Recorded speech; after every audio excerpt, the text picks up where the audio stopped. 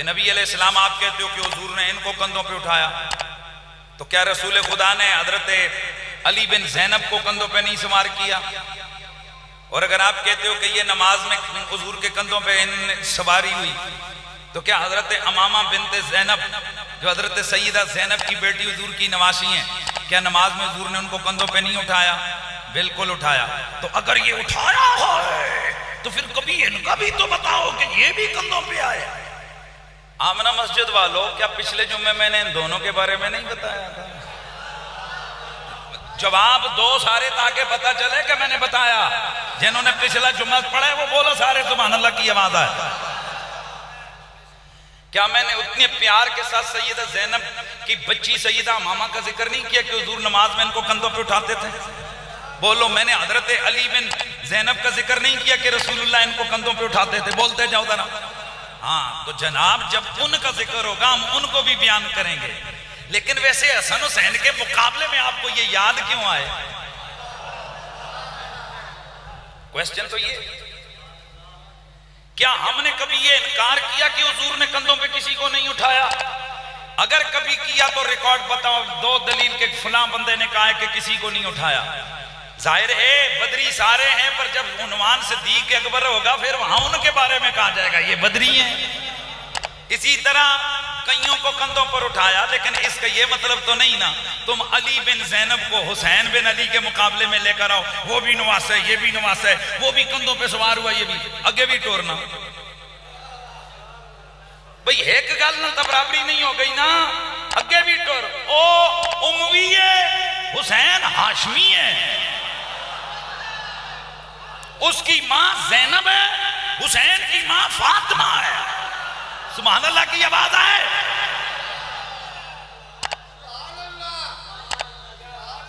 वो भी नवासे पर घुट्टी हुजूर ने हसन और हुसैन को दी। अच्छा इसका ये मतलब नहीं है, और साहबा को नहीं दी। कई माए हजूर की खिदमत में आती, रिवाज था उस वक्त कि पहली घुट्टी हजूर के हाथों से बेटे को दिलवानी। कभी हजूर किसी को खजूर जना वो थोड़ा वो नरम करके खिलाते, किसी के मुँह में अपना लोहा ऐसे कर देते, किसी को पानी जो है ना पी कर उसको पिला देते, किसी के मुँह में जमजम डाल देते, किसी के मुँह में शहर डाल देते। और ये आम उस वक्त रिवाज था। ये भी रिवाज होता होता है, याद रखो। बड़ा असर करता है उलमा ने लिखा बच्चों का भुट्टी भुट्टी पिलाते हुए ख्याल किया करो कि भुट्टी किससे दे रहे हो। और कभी किसी बच्ची को, ये शरी मसले नहीं है, तजर्बाती मसले हैं। किसी बच्ची को मर्द के हाथों से घुट्टी ना दिया करो, नेक खातून के हाथों से दिलवाया करो।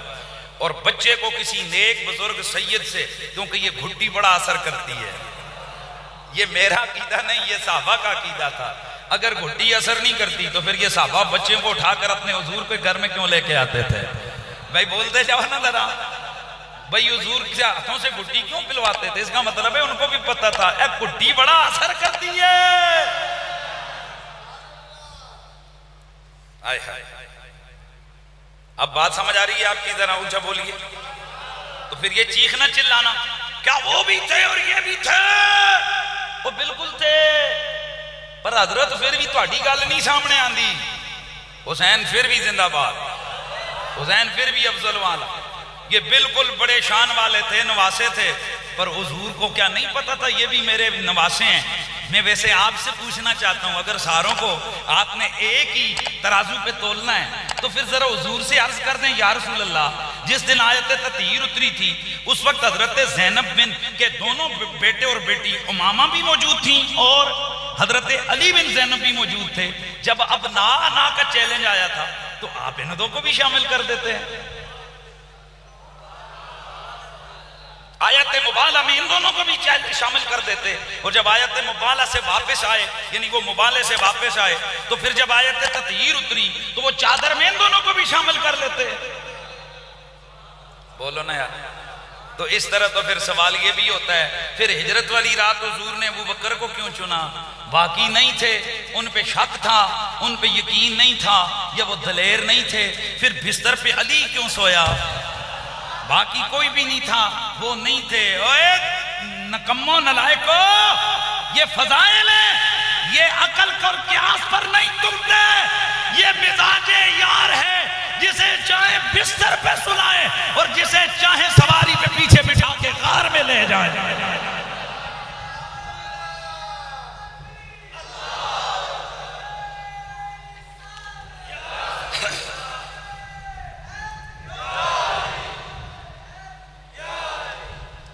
बात समझ आ रही है?